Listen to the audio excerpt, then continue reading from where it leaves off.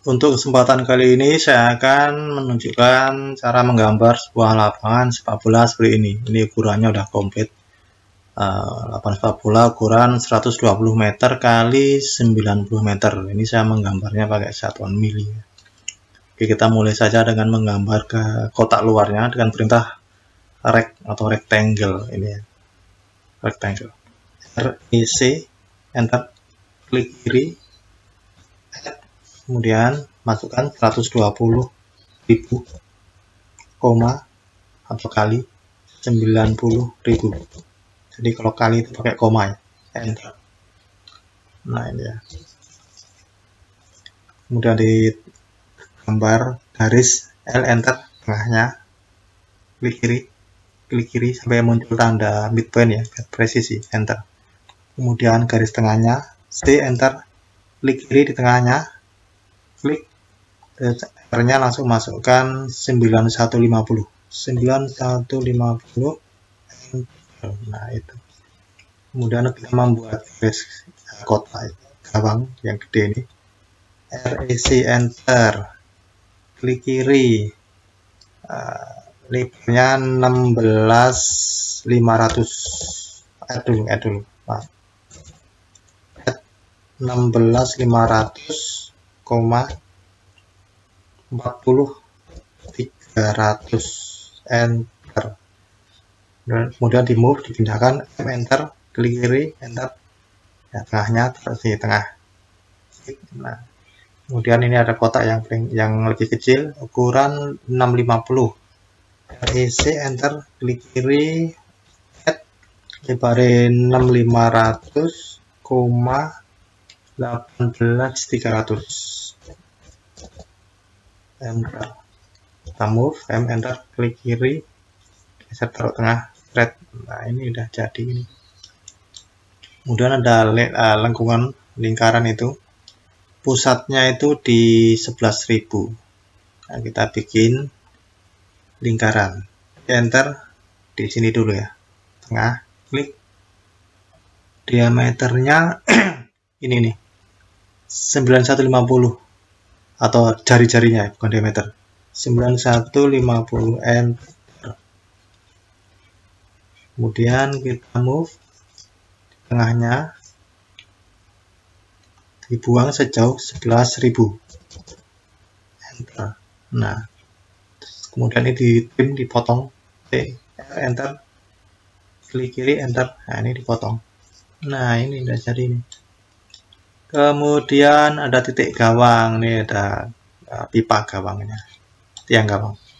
Selebar 700 7300. Tadi kita bikin C dulu, C enter. Klik di sini, klik B enter 7300. Nah, ini nanti untuk letak gawangnya ini.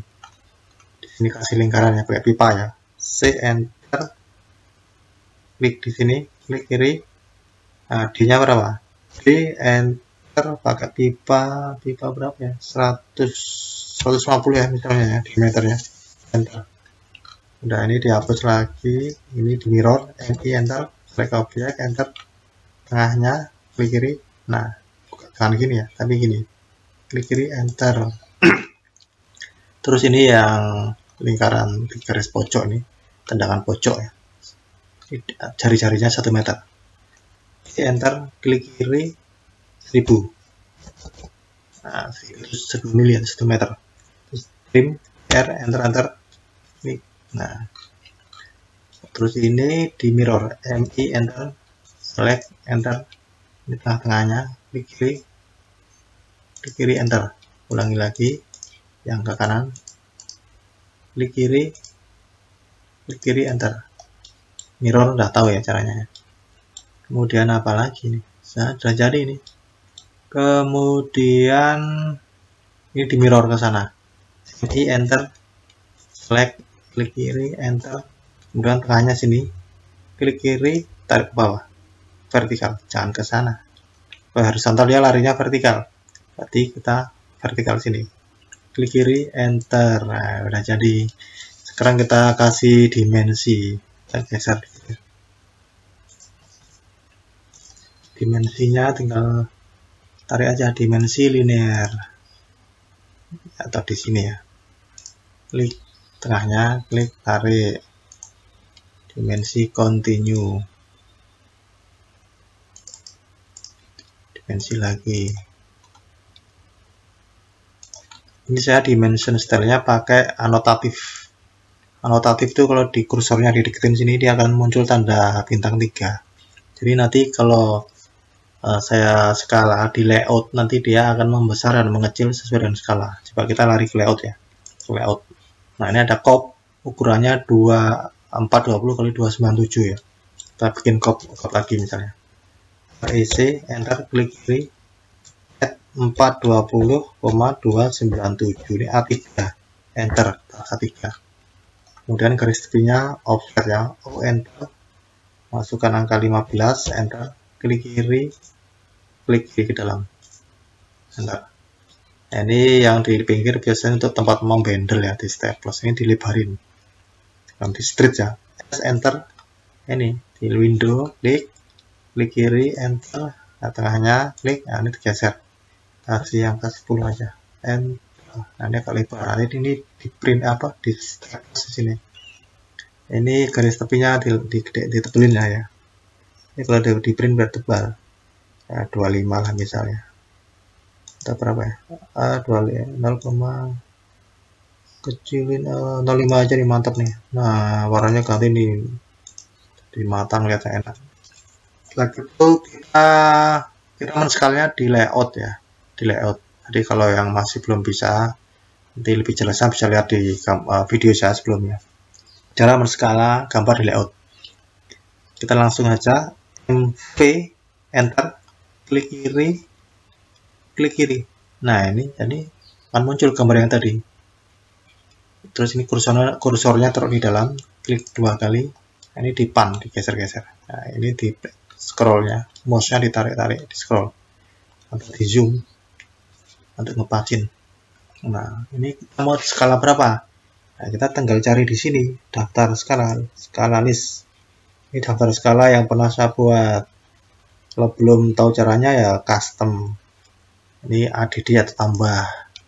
Misalnya mau bikin skala berapa? Ini satu ini katakanlah 700 berarti satu banding 700 ini kasih nama ST 1 banding 700 enter atau enter oke okay. oke. Okay. nah nanti kita aplikasikan di sini. Cari yang satu banding 700 nah ini nih. SC1 banding 700 klik. Nah dia akan mengecil secara otomatis.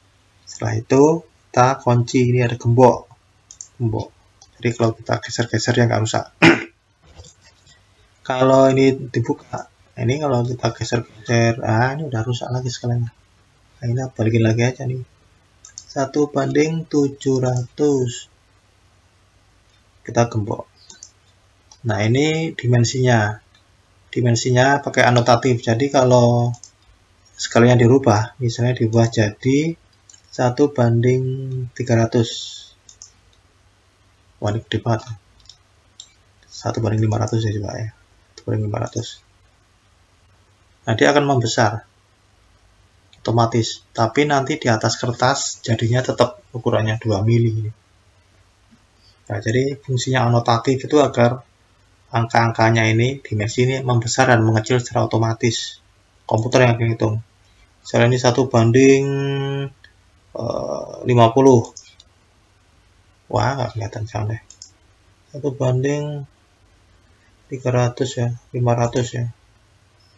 Nah, dia membesar mengecil otomatis. Sudah kita kunci gembok. Nah, kita juga bisa narik skala di sini, eh, narik, narik garis di sini bisa misalnya di sini nah keluar dulu klik dua kali nah ini garis namanya garis view atau kotak viewport ini ini diganti layernya jadi div point. Jadi nanti kalau di print ini nggak kelihatan nggak ikut ke print. Ini bisa digeser-geser ya.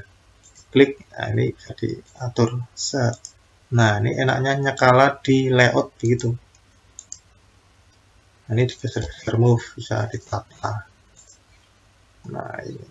Ini di putar juga bisa. RO enter klik viewportnya enter.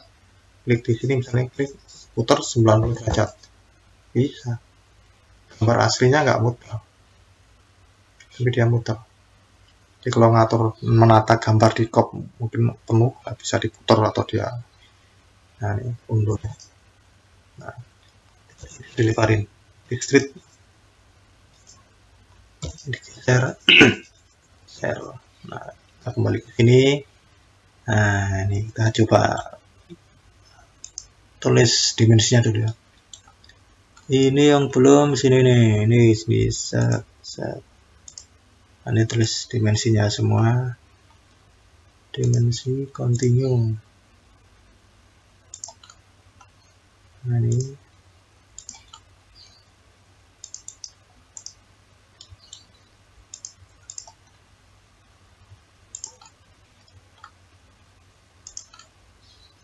Nah, ini dimensi radiusnya berapa ini? Radiusnya 9150. Ini di sini ada titik sejauh berapa ya? 11 meter di tengah. Kita buat C enter, klik di tengah sini, klik. Ini sama dengan kasih 200 saja biar kelihatan terus di move M enter select enter klik point nah, buang 11 meter enter di sini. Kita tarik dimensi ya. Ini tarik sini. Ini lagi sini. Kemudian nah ini nggak apa-apa nih biar jelas. Set. kemudian ini. Untuk tendangan 11 meter. 11 meter nah ini R nya sama ini. R nya lingkaran yang di sini sama nih ke sinilah sama dengan ini. Seperti ini kan kepotong. Terus gawangnya gawangnya klik di sini klik klik. Nah ini aja nih. Gampang ini udah jadi kita tinggal bikin notasi apa judul. Nah ini untuk notasi juga anotatif. Jadi ya skala berapapun dia akan membesar mengecil secara otomatis. Jadi nanti di print di atas kertas hasilnya sama. Ya kita tulis ya teks di enter. Nah klik kiri. Ini nih height ukurannya H enter.